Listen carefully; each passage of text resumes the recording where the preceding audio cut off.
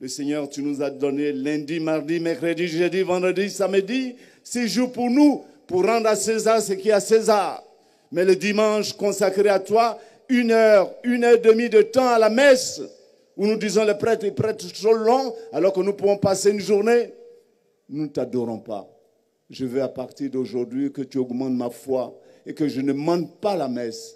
Je ne sais pas pourquoi le dimanche dernier, tu n'as pas été à la messe. Je ne sais pas pourquoi. Dieu fait tant pour toi. Tu es venu danser cette nuit, tu as entendu, tu as acclamé. Mais alors pourquoi tu ne le loues pas le dimanche?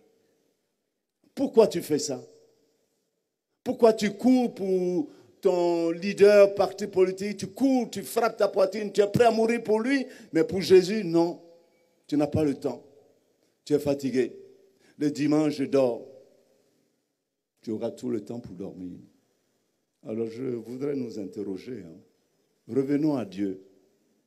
Que ces nuits où nous dansons, nous jouissons, nous crions, nous aident pour que chaque jour, nous puissions être pour Dieu.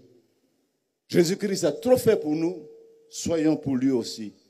Faisons tout pour lui, pour que quand nous aurons terminé notre pèlerinage, il nous accueille pour les fêtes éternelles, pour les joies éternelles.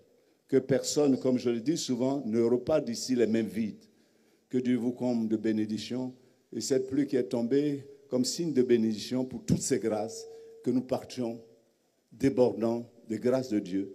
Et que ces grâces rejaillissent sur tous les membres de nos familles, surtout ceux et celles qui ne prient plus, tous ces enfants, ces jeunes gens qui sont dans l'alcool, dans la drogue, qui font pleurer leurs parents, tous ces jeunes gens, ces jeunes filles qui fuguent, qui font pleurer leurs parents, tous ces enfants qui pleurent pour leurs parents difficiles, papa et maman qui veulent divorcer, et tout à l'heure, vers la fin, nous allons prier. Nous allons prier avec tous les prêtres. Nous allons prier pour tous ces cas. Et je dis, il n'y aura pas de procession du Saint-Sacrement, puisque nous sommes déjà arrivés. Vous savez, avec tous ces grands artistes qui sont succédés, on a pris beaucoup de temps. Déjà, il fait matin, on devait en principe être sur le chemin de retour dans nos différentes villes, quartiers.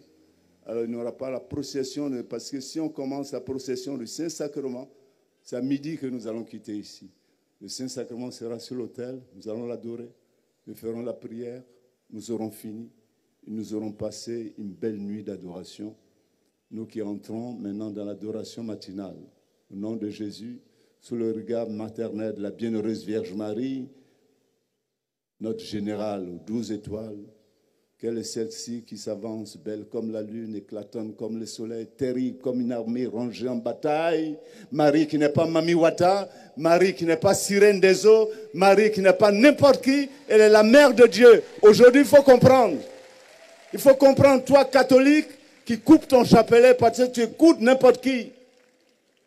Ici, autant que nous sommes, nous ne sommes pas tous des catholiques. Mais nous nous respectons, respectons un peu à partir d'aujourd'hui la religion des autres. Parlez de Dieu, de votre Dieu à vous. Mais qu'est-ce que vous avez tout le temps? Mais si je me mets à insulter ta mère qui t'a mise au monde, tu rentreras en guerre avec moi. Alors nous laissons insulter Marie, sirène des eaux, Mamie Wata, du n'importe quoi. Ô Vierge Marie, pardonne-leur, car ne savent pas ce qu'ils disent, ne savent pas ce qu'ils font. Tu es la mère du Christ, tu es la mère de l'humanité, tu es notre mère. Aide-nous à aimer Jésus.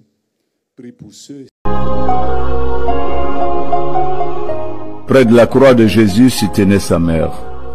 Jésus, voyant sa mère et près d'elle le disciple qu'il aimait, dit à sa mère, Femme, voici ton fils. Puis il dit au disciple, Voici ta mère. Et à partir de cette heure-là, le disciple l'a pris chez lui.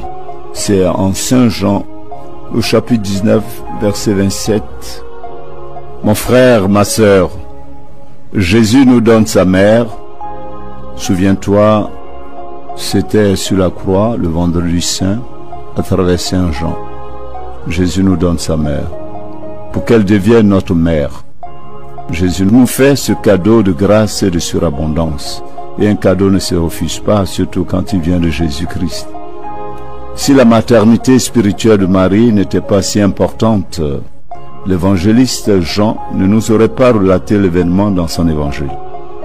Mais il se trouve des personnes qui prétendent face à 2000 ans de foi chrétienne donnaient aujourd'hui un sens différent à l'évangile. Leur orgueil en vient à aveugler leur cœur et leur intelligence pour ne pas comprendre les Écritures. Prendre Marie chez soi n'est pas une option facultative.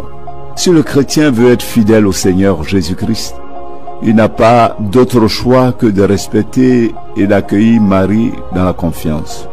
Moi, votre serviteur, l'abbé Norbert Eric Abécan, je suis fier d'être un enfant de Marie. Et je suis sûr que vous êtes nombreux, nombreuses à être fiers parce que nous avons pris Marie chez nous. Il arrive souvent encore certains chrétiens, certaines chrétiennes qui manifestent à l'égard de Marie une hostilité regrettable, une hostilité tout à fait contraire à la lettre et à l'esprit de la Bible. Parce que je ne comprends pas, moi, qu'on puisse adorer Jésus-Christ, qu'on dit vrai Dieu, vrai homme, sans aimer, sans prendre chez soi, sans honorer celle qui a donné ce vrai homme, vrai Dieu, qui est la bienheureuse Vierge Marie. Et ses frères et sœurs euh, perdent beaucoup de temps à critiquer leurs frères qui honorent Marie en la proclamant bienheureuse.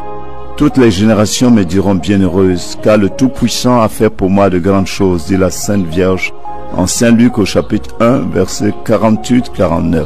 Ça, c'est l'évangile. Hein. C'est la parole de Dieu, c'est la bonne nouvelle. Vous ne pouvez pas renier cela. On est bien tenté de se poser la question de savoir de quelle génération sont ces chrétiens et ces chrétiennes qui méprisent la mère de Jésus.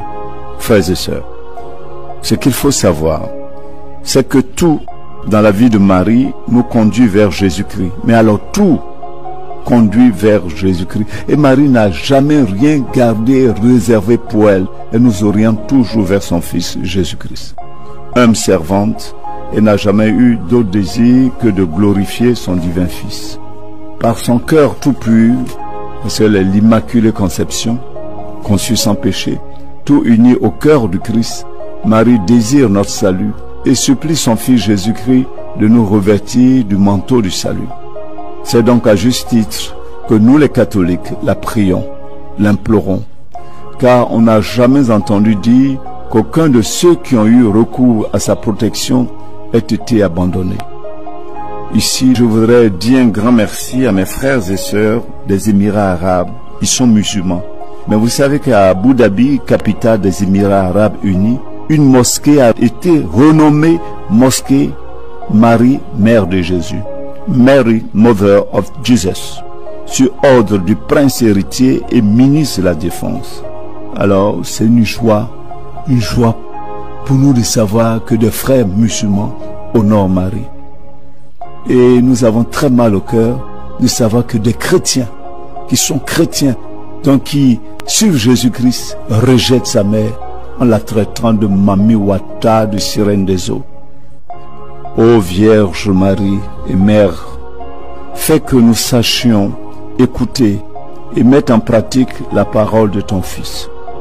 Aide-nous à dire notre oui, à faire retenir la bonne nouvelle de Jésus et surtout en ce mois de mai, mois consacré à Marie. C'est le mois le plus beau. Marie, femme de l'action, fais que nos mains et nos pieds aillent en hâte vers les autres pour apporter la charité et l'amour de ton Fils Jésus-Christ. Je vous souhaite à tous et à toutes un bon mois de Marie, à vos familles, à notre pays, la Côte d'Ivoire, à l'Afrique et au monde. N'oubliez pas de prier au cours de ce mois pour l'Église catholique, pour les chrétiens persécutés dans le monde et pour la sanctification de tous les prêtres. N'oubliez pas notre Saint-Père le Pape François. Dieu vous bénisse, votre serviteur, l'abbé Abécan Norbert Eric, curé de la paroisse Sainte-Famille de la Riviera 2. C'est le mois de Marie, c'est le plus beau. À la Vierge chérie, disons un chant.